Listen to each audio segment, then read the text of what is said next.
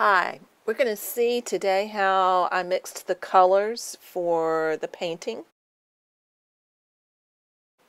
So here you can see that finished painting and the range of colors from the sunlit fields to the ditch in the foreground and the trees in the distant background. And here is our final palette with a range of purples to dark green, light green, the pink, yellow, and gray from the middle ground, and our sky colors at the top. So to get started in mixing these colors, you want to get your palette set up. And I have at the top the colors that we were shooting for to mix. On the side, you'll see I already have Indian Yellow, Fanchon Red, or the Naphthol Red, and um, Carl's Crimson, also called alizarin crimson or naphthol crimson, laid out. And next I'm going to squeeze out some ultramarine blue and then some phthalo blue. And I'm putting those up towards the top of the palette in the same positions that I usually place them. Um, as somebody has commented on the Q&A, um, yeah, I do put my colors in the same basic positions each time. That means that I can mix colors without having to overthink it. I kind of know where they're going to be. So we've got those laid out. I'm going to squeeze out a little bit more Indian yellow and some more of the reds. We're going to get the a little bit more of the Fanchon and a little bit more of the Carl's Crimson. Remember, those are just the Williamsburg color names for those colors. Our second yellow, yellow ochre. And there we have our double split primaries. We're going to use white to create the sky and remember when you start to create mixtures you want to work with the light colors down as the base and mix the darker colors into them. So as we move towards mixing the colors for the sky, I'm going to squeeze out three different separate sections of white. One for the top of the sky, one for the middle area, and one for the area that's closest to the horizon line. So there we have three dabs of white. And those are about quarter size. That's a big tube of white that you see right there, not a small tube. So about a quarter size daub of white. The two areas of white below are going to be for the gray, the lavender gray areas for the road and the foreground shadow areas. And then I want to have some white set out just in case I need it for mixing some other colors. So to start, that first area of white for the sky is going to have ultramarine blue in it, all by itself. Very little of anything else to begin with. Straight ultramarine blue.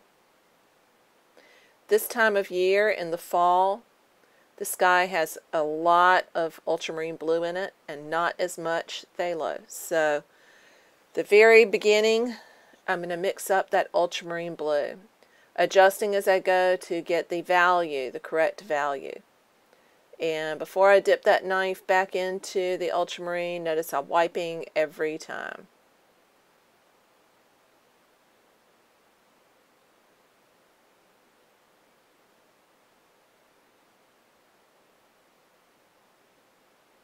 And that's that plow and push that I've talked about before with the flat knife. You want to push it forward and then pull it back, push it down.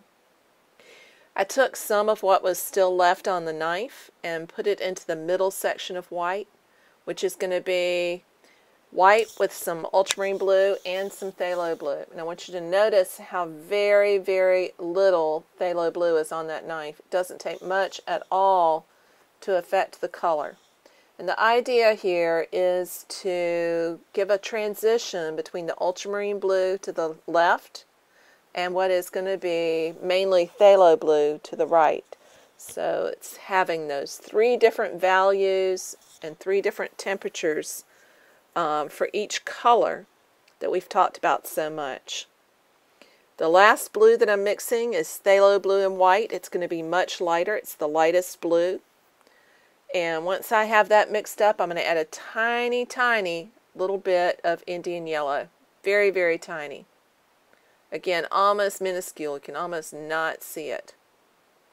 And that is going to make a slightly more green blue. So that's the blue for the area closest to the horizon line. And there we have our blues. Next up, we are going to go to our darkest darks. And we're going to mix a color that is partially purple and partially green. So in order to do that, to begin with, I'm going to mix a green, ultramarine blue, and yellow ochre. Adding the ultramarine blue slowly to the yellow ochre. I'm trying to mix a color that is the equivalent of the Terre Verte, the Italian Terre Verte that Williamsburg makes. Because I want to make a dark green. This one is still a bit too warm, so you're going to see me put some phthalo blue in there in just a second.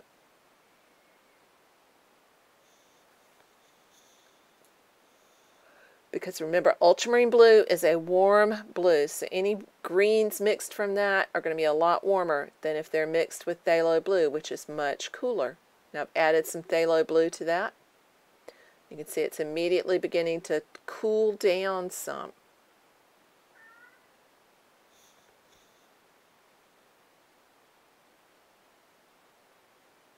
It's going to be a nice darker blue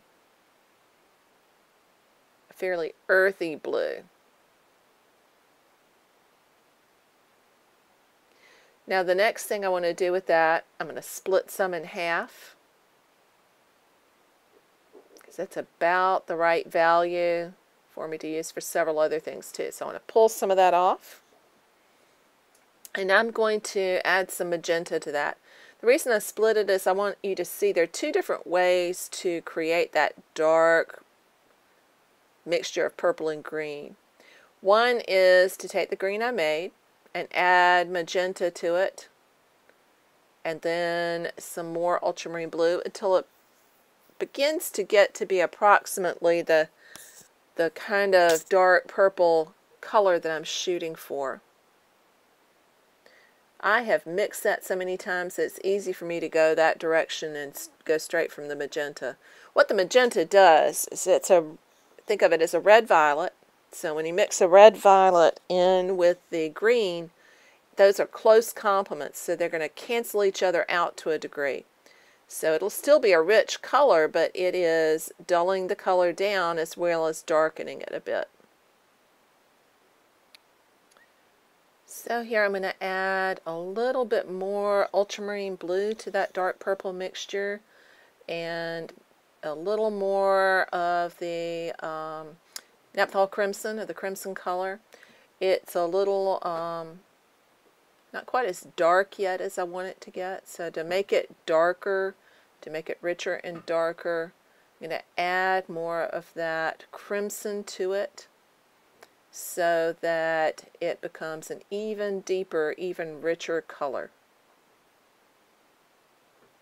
So you can adjust those colors to push them as dark as you want or as warm or cool as you want by gradually adding those other main parts or other double primaries to the mixtures that you've made. Be sure to mix your colors thoroughly so that you don't have little bits and pieces of other colors popping up in there. Now, um, an alternative way, instead of doing it little bit by little bit like that, is to mix the violet first. So instead of mixing it separately, adding blue and then adding magenta, you can make a violet first from the beginning, which is what I'm doing here. I've mixed ultramarine blue and the um, magenta crimson color And I'm going to then, after it makes a nice purple, a little bit more ultramarine blue in there. I am going to mix that in with that other half of the green that I pulled out. I told you I wanted to mix it two different ways and these are the two different ways that I wanted to show you that you get to the same end result. It's just if you're not sure about mixing to begin with, it's a little bit easier if you mix the violet, mix the green, and then mix the two together. So here I have the two separate and in just a second you're going to see me mix some of that violet in with the green. Doesn't take much at all before it starts to turn the green to a really nice, rich, almost black color.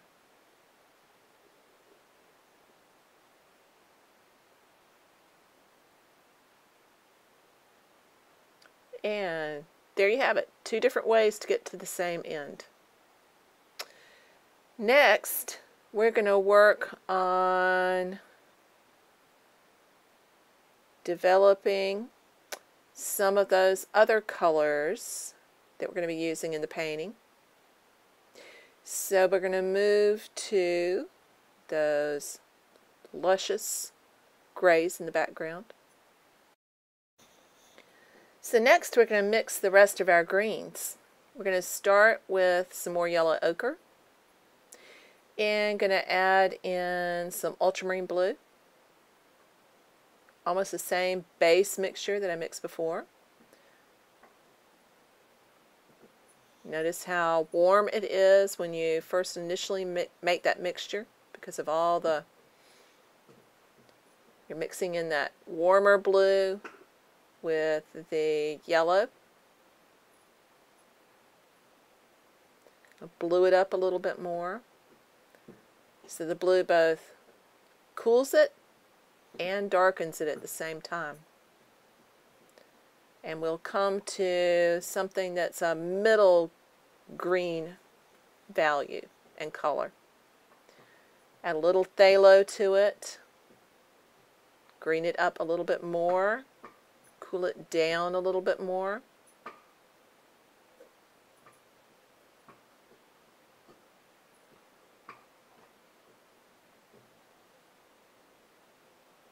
And this will be a green that is darker, but not quite as dark as the purpley green color.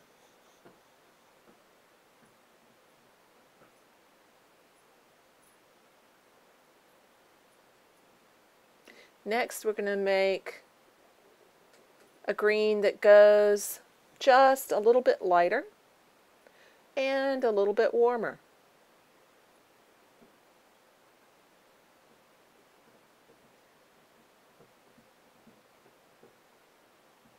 trying to move this up here so that you can see it. So I'm trying to make something that's a little bit purer as well. So I'm taking phthalo blue and putting it straight into the yellow ochre.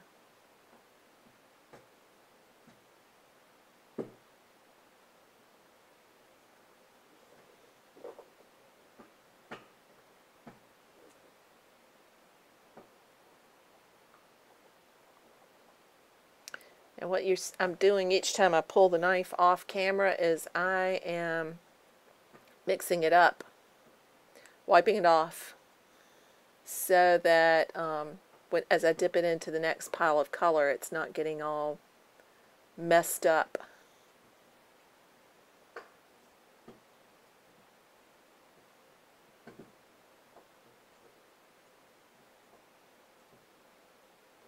So here with our lighter greens, we have a warmer one and a cooler one.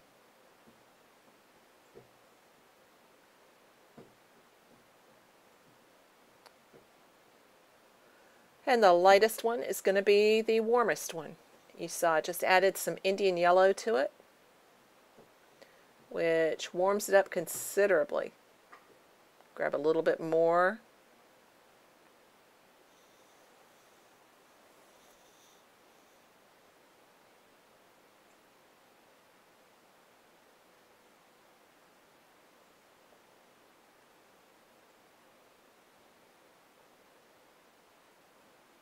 So there we have our greens. The dark, dark purpley green that is the notan color, the dark green, the middle green, and the light green. Moving from there, I'm going to mix the colors for the field. And the main color in the field is white with a little bit of the Fanchon red, which is the same thing as the Naphthol red. So I'm making a really rich pink color. And I'm going to add some Indian yellow to that.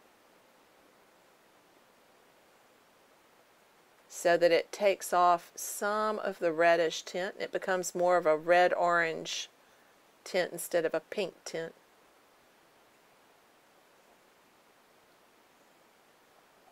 And I'll need to adjust that just a little bit to get it to the degree of orange that we're looking for there.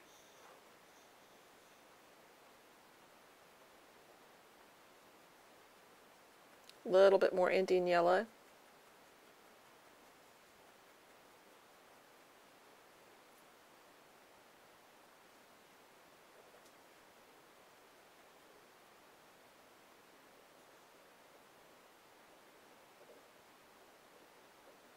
And let some of the paint that's on the knife tint that next pile of white because I'm going to mix one that is a little lighter. It's going to be the one that is almost pure yellow.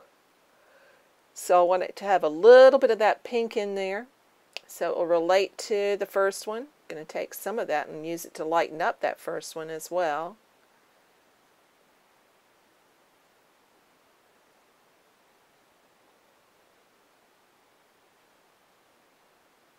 and then get some Indian yellow and warm up the lightest part of that pink triad.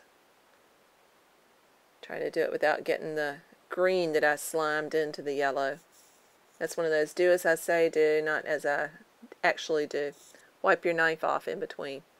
So the yellow goes in there and it greatly intensifies it. That's what I mean by Indian yellow being a really strong tinting strength. Really strong tinting color.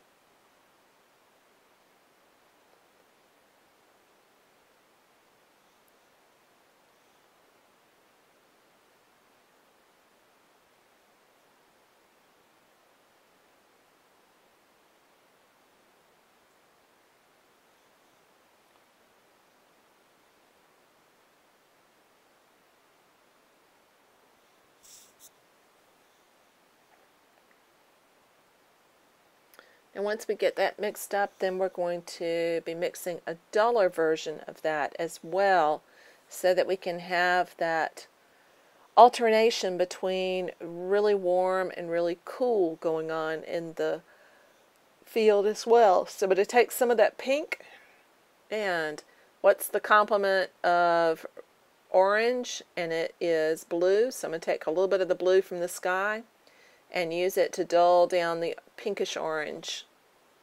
And there we get a more muted, almost lavender color. That becomes a really great foil for the red-orange light tint there and the yellow-orange to the right. So that middle color is red-orange that has been mixed with white. So you have the Fanchon red or the Naphthol red a little bit of Indian yellow mixed with white, and you get that middle one. The one next to it is Indian yellow and white with a little tiny bit of the rose mixture. And then we have that dulled out color that's made from the kind of coral rose red orange color and its complement blue. So now I'm taking some of my lavender and green, purple and green mixture adding a little white to it because I want to mix those purples, muted purples that we have in the foreground and in the distant road.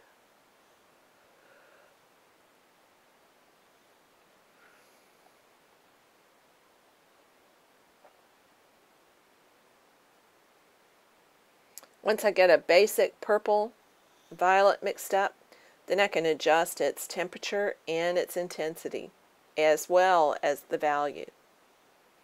And again, to dull it out, I'm going to mix it with its complement. The complement of violet is yellow.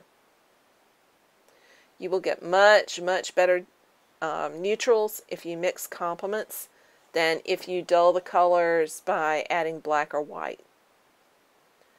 And if I want that color to be a little cooler or a little warmer, depending on what color it's going to be sitting next to, I can add some blue or I can add some um, of the, the pink color. So I'm going to take some of that blue, add in some of what I just made, and a little purple.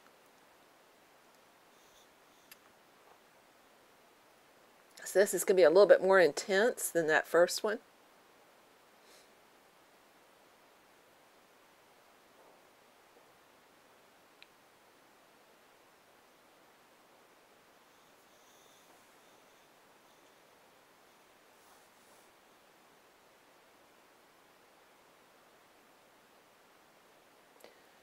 Add a little bit of the red-orange mixture.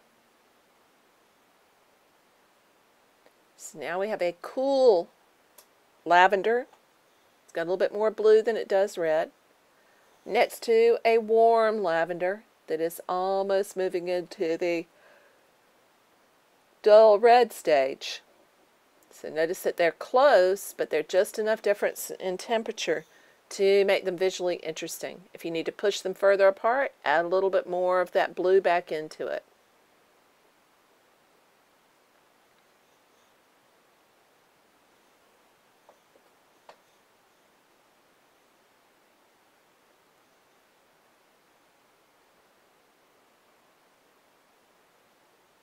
And there we have it. This is our palette for the painting. And here's the finished painting. So I hope that was helpful. Happy painting!